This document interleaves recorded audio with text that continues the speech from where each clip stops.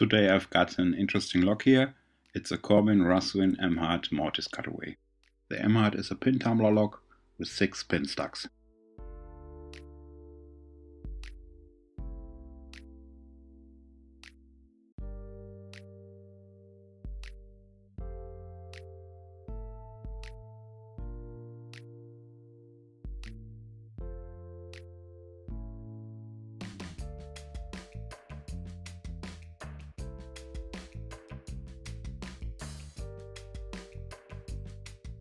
The drivers of this lock have a T-shaped nose with a matching gap on the key pins.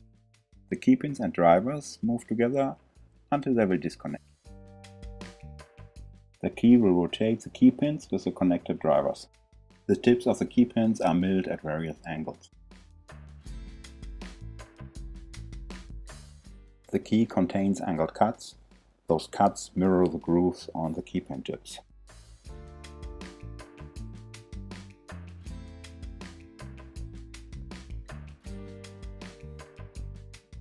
This will bring the drivers to the proper position. As you can see, the pins are not on the shear line and angled.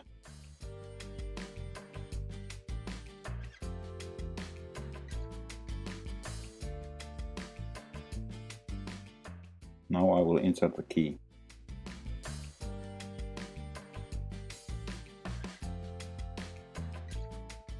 Now every pin is on the shear line and in the right angle.